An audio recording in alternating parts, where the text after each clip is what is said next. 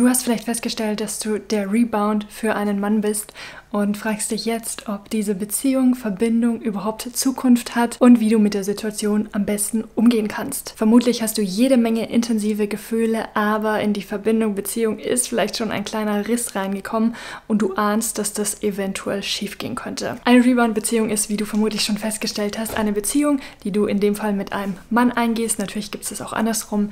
Und dieser Mann hat gerade erst frisch eine Trennung hinter sich. Eigentlich nach einer Trennung befindet man sich erstmal in einer Trauerphase. Nicht jeder Mensch möchte sich aber diesen traurigen Gefühlen aussetzen und so kommt es häufig vor, dass Personen sich gerade nach einer schmerzhaften Trennung erstmal sofort in die nächste intensive Verbindung stürzen. Wann jemand wirklich emotional mit einer Beziehung abgeschlossen hat, ist dann nochmal eine andere Geschichte.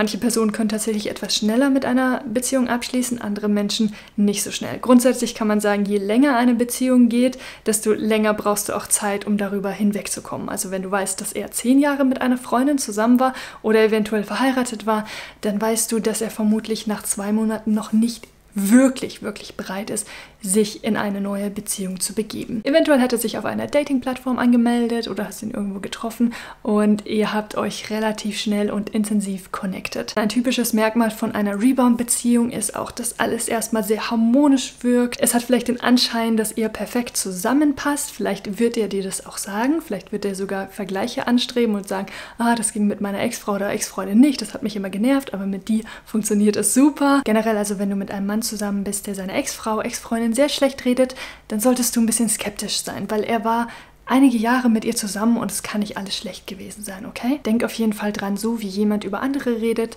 so wird eventuell auch irgendwann über dich geredet, okay? Also sei da ein bisschen aufmerksam.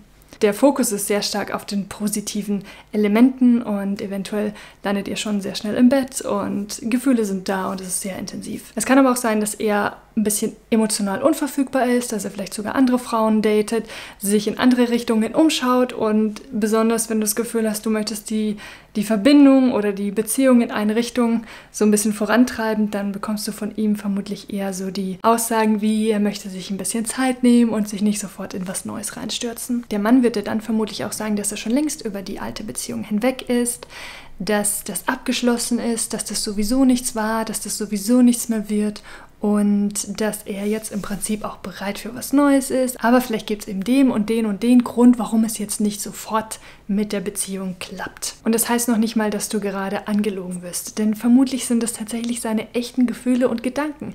Er hat das Gefühl, er ist schon längst über die andere Person hinweg, weil er sich auf diese Trauer nicht wirklich einlässt, sondern sich eben intensiv und gefühlsmäßig erstmal auf was Neues einlässt. list Und es ist auch in Ordnung. Du solltest für dich da nur ein bisschen aufpassen, denn es kann sein, wenn diese Ex-Freundin oder Ex-Frau in seinem Leben wieder auftaucht und von ihrer Seite noch nicht der klare Cut passiert ist, dann kann es sehr gut sein, dass diese beiden Personen wieder zusammenfinden und es eventuell nochmal probieren. Und dieses Gefühl ist natürlich absolut unangenehm, wenn du bereit warst für einen Mann und das Gefühl hattest, so wow, das könnte wirklich was werden und dann wirst du eben mit der harten Realität konfrontiert, dass es vielleicht nicht so ist. Und das fühlt sich mega unangenehm an und man fühlt sich belogen betrogen und benutzt an. Weißt du, Beziehungen sind sehr komplex. Das ist das, was ich auf jeden Fall gelernt habe. Und ich habe gelernt, dass es kein richtig oder falsch gibt. Ich glaube, dass auch aus einer Rebound-Situation eine schöne Beziehung entstehen kann. Natürlich kommt es immer sehr auf die Situation drauf an und es kommt auch ein bisschen auf dich drauf an. Und letzten Endes geht es vor allem erstmal um dich. Es geht darum, was du glaubst, wie reif du bist, um mit dieser Situation umzugehen. Versuch das Tempo rauszunehmen, so gut wie möglich. Ich würde dir raten, date in der Zeit vielleicht sogar andere Männer. Kann einfach sein, dass du mit anderen Männern Kaffee trinken gehst, dass du dir einfach deine Option ein bisschen offen hältst, dass du dich auch für diesen Mann ein bisschen offen hältst, aber dass du nicht zu tief und zu schnell und sofort da reinspringst und sagst, oh mein Gott, ja, lass uns gleich eine Beziehung draus machen. Natürlich kannst du auch den Rückzug antreten und sagen, hey, die Situation ist mir zu heikel, ich bin raus. Das geht natürlich, aber wenn du das Gefühl hast, hey, ich mag diesen Mann wirklich gern und ich sehe Potenzial und ich denke, es könnte was werden, dann mach langsam.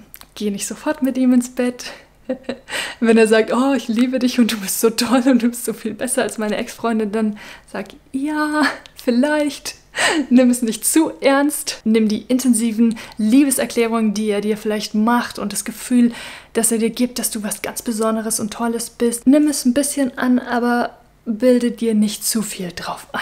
Denn denk immer dran, dieser Mann ist vermutlich nicht in der emotionalen Reife, dass er hundertprozentig hinter den Worten steht, die er sagt. Achte ein bisschen mehr auf das, was er macht und weniger auf das, was er sagt. Also versucht diesen Zeitraum, in dem ihr euch kennenlernt, etwas auszudehnen und nicht sofort alles intensiv und geballt auf einen kurzen Zeitraum zu pressen. Ich wünsche dir von Herzen das Allerbeste für diese Situation und wenn du das Gefühl hast, dass du Hilfe brauchst, dass du einfach nochmal jemanden brauchst, der dir ein paar positive, ermunternde Botschaften schickt, dass du das Gefühl hast, okay, ich kann jetzt mit der Situation umgehen und ich kann mich im richtigen Moment auch rausbringen, falls es wirklich in die ganz schiefe Richtung geht, dann melde dich auf jeden Fall gerne bei mir. Ich wünsche dir das Allerbeste in deinen Beziehungen und ich wünsche dir, dass du für dich weißt, wie viel du wert bist und wie wunderbar du bist als Frau. Wenn dir das Video geholfen hat, dann teile teile es doch gerne mit Freundinnen, die vielleicht in einer ähnlichen Situation stecken.